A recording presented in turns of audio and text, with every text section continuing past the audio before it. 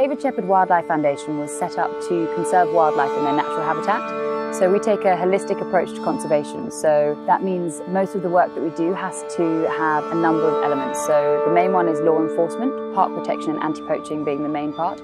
Education is a key part of what we do and also community outreach.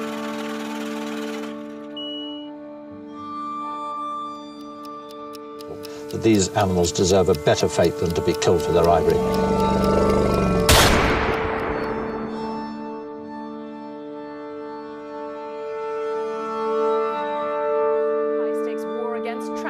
Of something worth more than gold, cocaine, even diamonds. The coveted horn of the endangered rhino.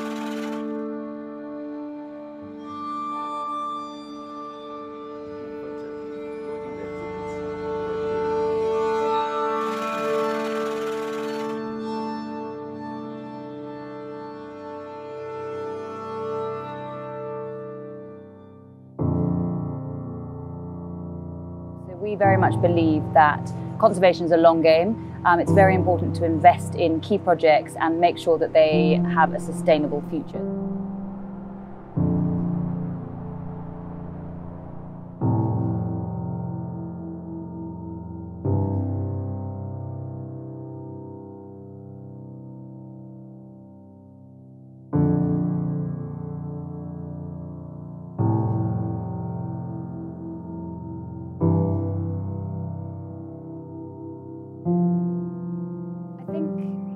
It's safe to say that everyone in the organisation has a fantastic ethos that was built from the legacy that my grandfather set up. So a key part of our DNA is wanting to give back to the wildlife that we are very privileged to be able to see on a daily basis. So one of Grandad's key messages was he felt he owed a debt to wildlife for the success that he was owed through his painting career.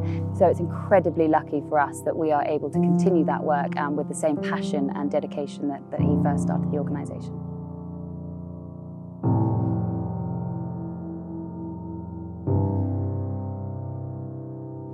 The biggest thing, understanding I've got from this trip is that without having the communities on board, the poaching problem won't be relieved. So we have to go in and educate, we have to empower those people and those communities and for those adults to pass that on to their children and their children's children to actually resolve this issue.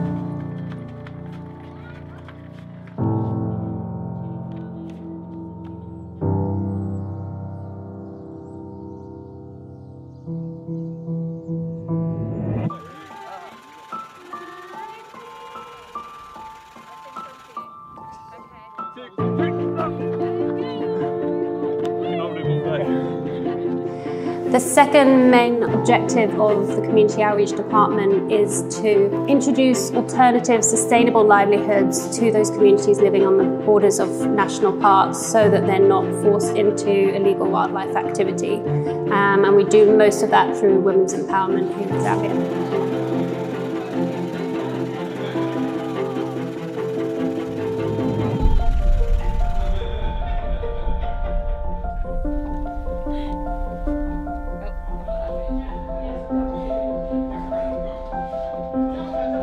Can inspire people to love something like wildlife, like elephants, rhinos, whatever it is, then they want to learn about it. And if they learn about it, then they'll look to find out how they can make sure that it, it means something in the future, that it is here for our children and our children's children.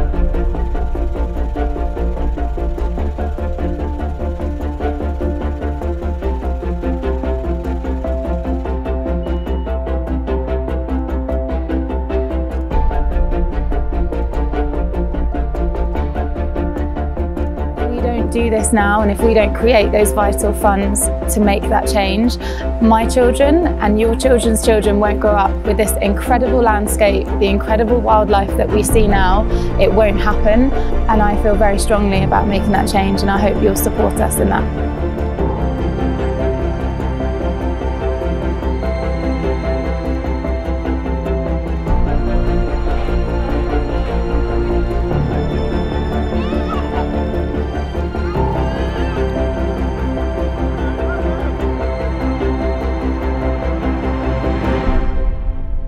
Reached a period now when if you don't get it done mighty quick, tomorrow, it'll be too late.